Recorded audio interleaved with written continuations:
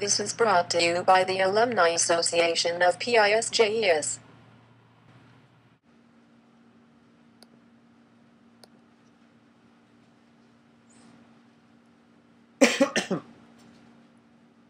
Hey guys. So we'll be continuing. Hey guys. So we'll be continuing with our units uh, at where we from where we left it. So now we'll be moving on to the unit conversion.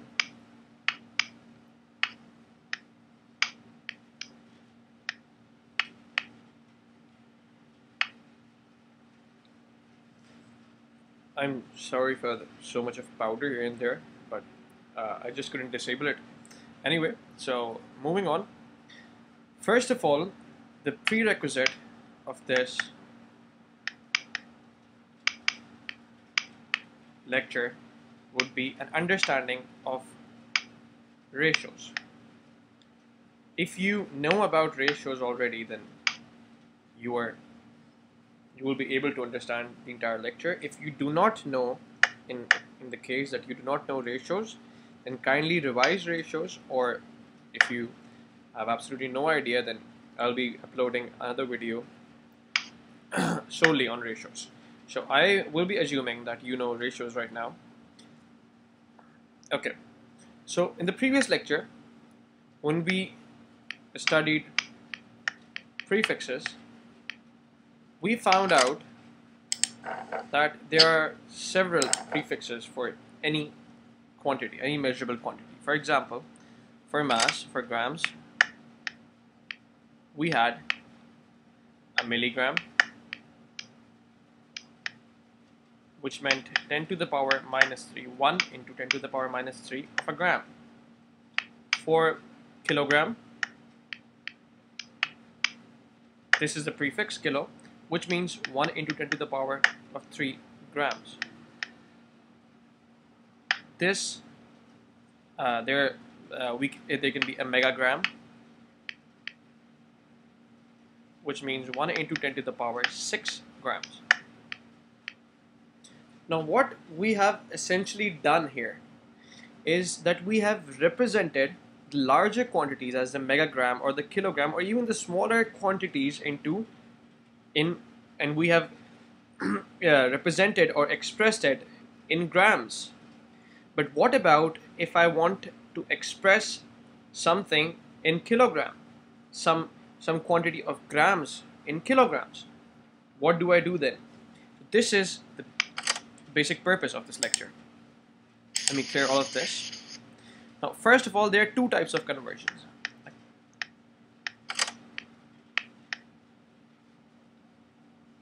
The first one would be a simple one-way conversion. And the other one would be a two-way conversion. For there can be a three-way conversion as well, but we would not be going there. For you, for your syllabus, we'll be sticking to these two. Now, let's see. Let's talk about a one-way conversion. Let me give you an example of a one-way conversion. For example, you have a question which says convert 128 centimeters to meters. Well, we all know how we do this. It's very simple. You know, there's a centi before a meter. So what we do, we just put in 128 multiplied by the prefix here and the prefix of centi is 1 into 10 to the power of minus 2 as we have seen in the earlier lectures we'll just simply multiply it and convert it into meters this would be if you know the standard form and I'm assuming you do this would be the decimal is here it would go here here and this would become 1.28 meters. We have seen this as in let's let me take another example. 11.28 0.23 kilograms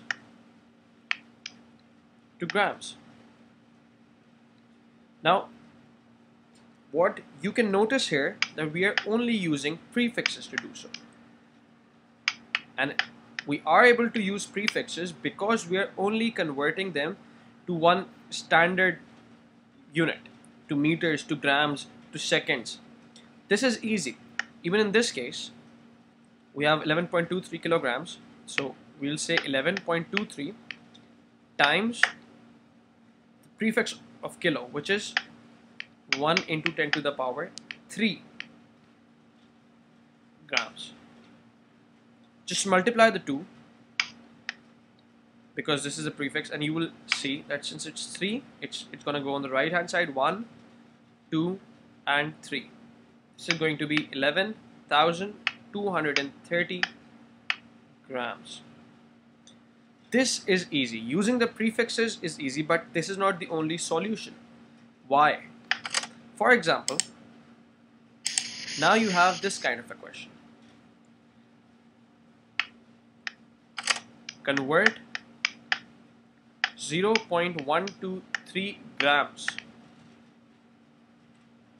into kilograms. Now you are doing it the other way around. You are not bringing it to the grams but to the kilograms. Now what happens is that the ratio method comes to the rescue.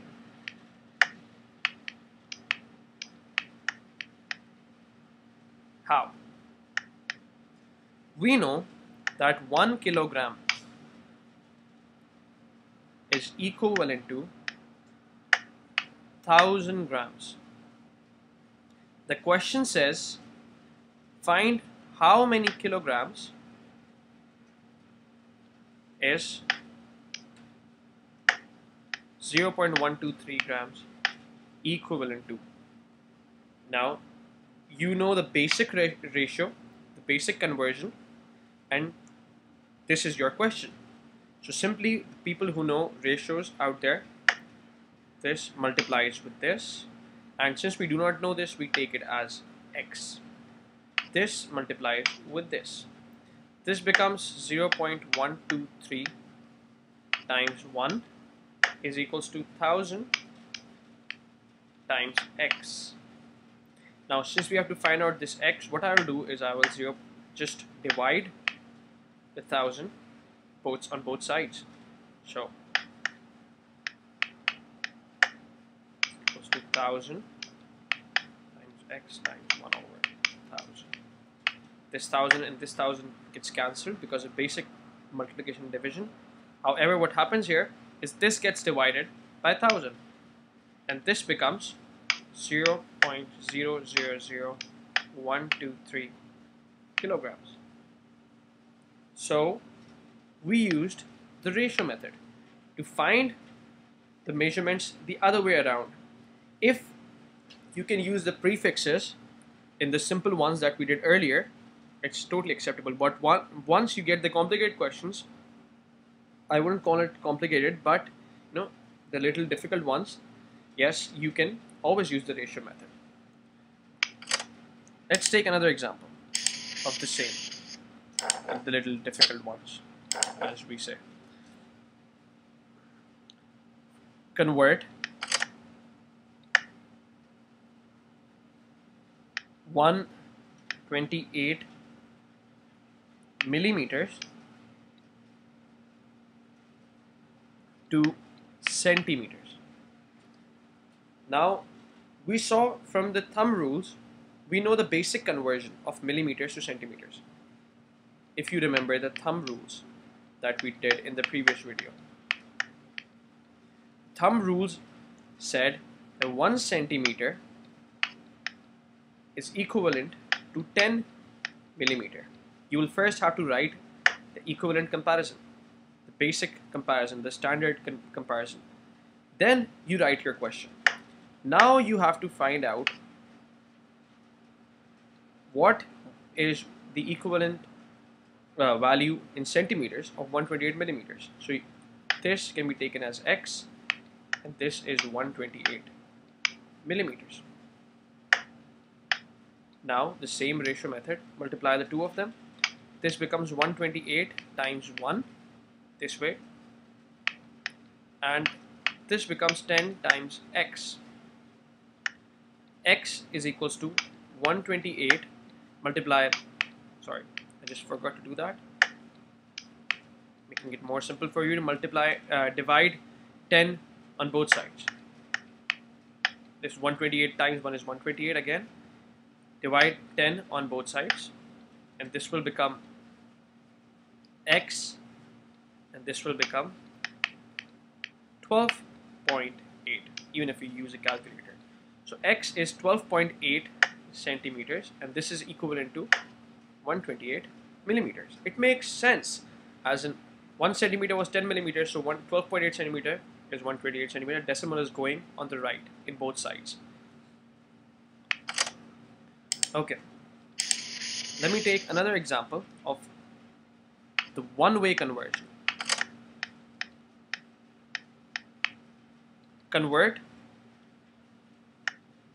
1 kilogram to 1 uh, sorry to convert let's say 2.1 kilograms to milligrams that seems like a difficult one.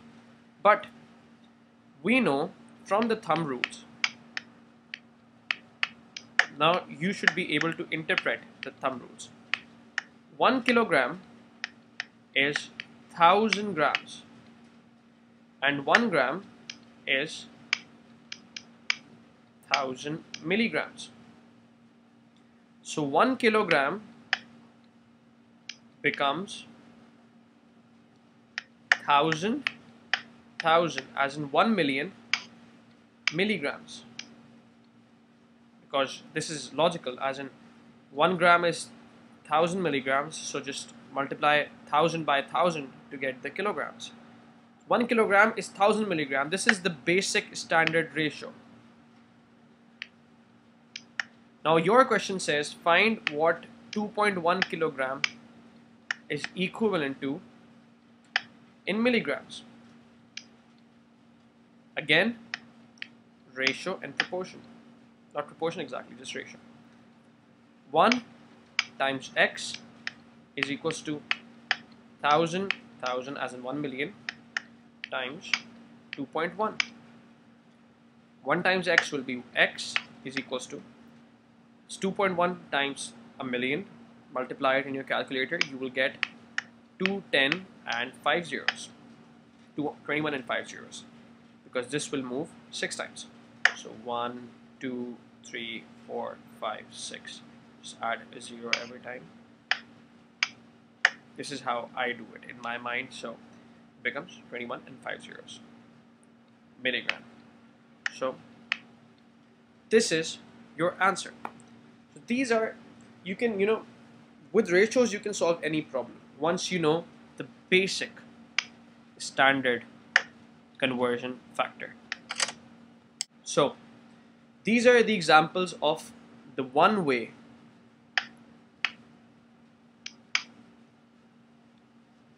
conversions where you are simply what are you doing? Step one is taking a, a basic conversion factor from one of the thumb rules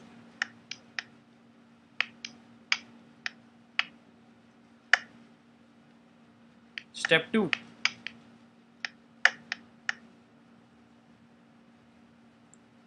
You place the question in consideration in the ratio. The same ratio that you have had from the conversion factor. And step 3 solve the ratio to find the answer. It is that simple. So we are we have talked about the one-way conversions. In our next video, we'll be talking about the two-way conversions. So stay tuned to it, and uh, thanks for watching.